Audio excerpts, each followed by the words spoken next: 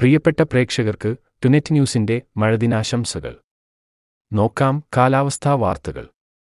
സംസ്ഥാനത്തെ കാലവർഷപ്പെയ്ത്തിന്റെ സ്വഭാവത്തിൽ മാറ്റം സംഭവിക്കുന്നു. ഇപ്പോൾ പെയ്യുന്നതിൽ അധികവും അതിതീവ്ര മഴയാണ്. കുറഞ്ഞ സമയത്തിനുള്ളിൽ വലിയ അളവിലാണ് മഴ ലഭിക്കുന്നത്. മിതത്വമുള്ള മഴ ഇല്ലാതാവുകയാണ്. ജൂൺ മുതൽ സെപ്റ്റംബർ വരെ നീണ്ടുനിൽക്കുന്ന കാലവർഷ സീസണിൽ മഴദിനങ്ങൾ വലിയ രീതിയിൽ കുറയുന്നുമുണ്ട്. കാലവർഷക്കാറ്റിന്റെ ശക്തി ദുർബലമാകുന്നതാണ് മഴ കുറയാൻ വഴിവെക്കുന്നത്. കരയും കടലും തമ്മിലുള്ള താപനിലയിലെ വ്യത്യാസമാണ് കാറ്റിനെ കരയിലേക്ക് അടുപ്പിക്കുക. എന്നാൽ കടലിലും കരയിലും ചൂട് കൂടുന്നതാണ് തിരിച്ചടിയാകുന്നതെന്ന് കുസാറ്റ് റഡാർ ഗവേഷണ വിഭാഗം ശാസ്ത്രജ്ഞൻ ഡോക്ടർ എം. ജി. മനോജ് പറഞ്ഞു.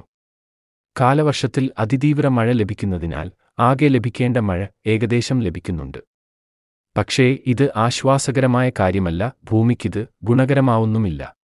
ഭൂമിയിലേക്ക് വെള്ളം ഊർന്നിറങ്ങി ഭൂഗർഭജലസമ്പത്ത് വർദ്ധിക്കുന്നതിനു പകരം വെള്ളം പുഴകൾ വഴി കടലിലേക്ക് ഒഴുക്കുകയാണ് പലപ്പോഴും ഇത് വൻ നാശത്തിന് വഴിവെക്കുന്നു. സാധാരണഗതിയിലുണ്ടാകുന്ന മഴയിൽ നിന്ന് വ്യത്യസ്തമായി ന്യൂനമർദ്ദം ന്യൂനമർദ്ദപാത്തി ചുഴലിക്കാറ്റ് എന്നിവ രൂപപ്പെടുന്നതിലൂടെയാണ് അതിതീവ്ര മഴ പെയ്യുന്നത്.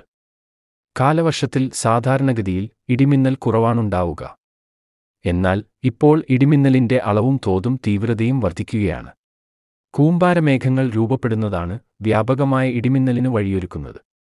മിന്നൽ ചുഴലി കേരളത്തിൽ പുതിയ പ്രതിഭാസമാണ്. രണ്ടായിരത്തി പതിനെട്ടിലാണ് മിന്നൽ ചുഴലി തുടങ്ങിയത്.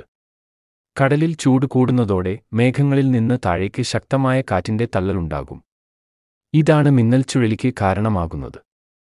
കാലാവസ്ഥയിലെ മാറ്റം പ്രളയത്തിനും വരൾച്ചയ്ക്കും വഴിയൊരുക്കാനും സാധ്യതയുണ്ട്. കാലാവസ്ഥാ വാർത്തകൾ കൃത്യമായി ലഭിക്കാൻ ചാനൽ സബ്സ്ക്രൈബ് ചെയ്യുക. 难逆。